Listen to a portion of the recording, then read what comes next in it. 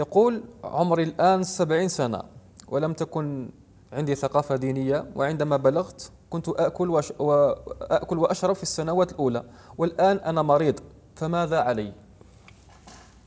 بسم الله الرحمن الرحيم الحمد لله رب العالمين والصلاة والسلام على أشرف المرسلين أما بعد أسأل الله عز وجل أن يتقبل منا الصيام والقيام اللهم لا تجعل حظنا من الصيام الجوع والعطش ولا تجعل حظنا من القيام السهر والتعب.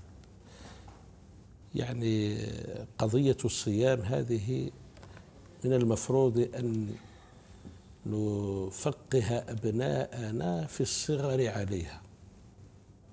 ولهذا مسؤولية الآباء مسؤولية كبيرة. كلكم راع وكلكم مسؤول عن رعيته. يجب على الآباء أن يثقفوا وأن يفقهوا أبناءهم في هذه الأمور وخصوصا أن هذه الأمور من المعلوم من الدين بالضرورة. الواجب تعلمها.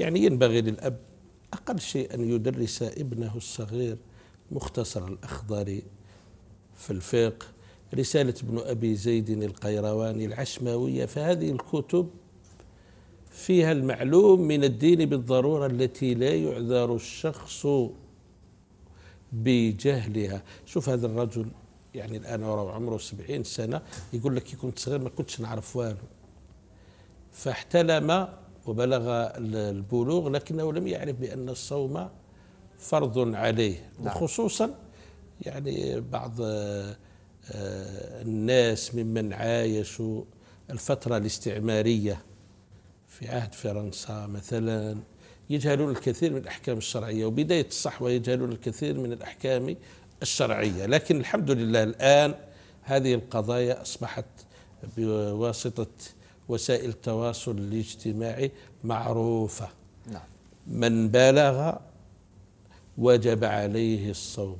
لقول الرسول صلى الله عليه وسلم رفع القلم عن ثلاث وذكر منها عن الصبي حتى يحتلم فإذا احتلم جرى عليه القلم ووجبت عليه الصلاة ووجب عليه الصوم والزكاة والحج.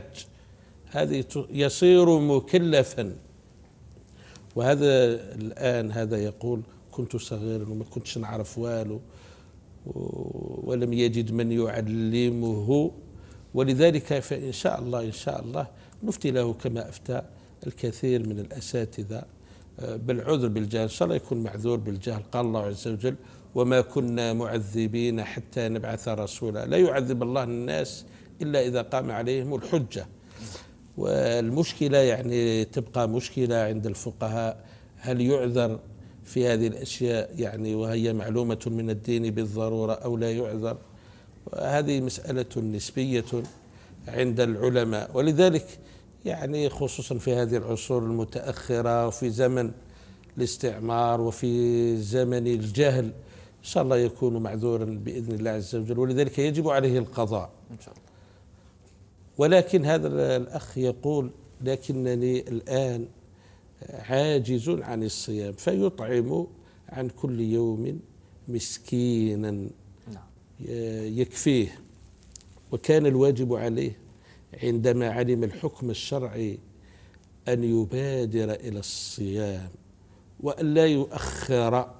ولهذا أنا أنصح الإخوة كل من تعلقت بذمته واجب أو حكم شرعي ينبغي له أن يبادر في فعله لأنه لا يدري ماذا يحدث له في المستقبل من مرض أو موت.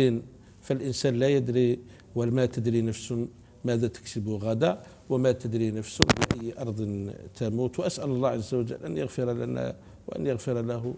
وهذا الشخص أنا أنصحه بالإكثار من الصيام والصدقات. فإن الحسنات يذهبن السيئات. إن شاء الله. بالنسبة شيخ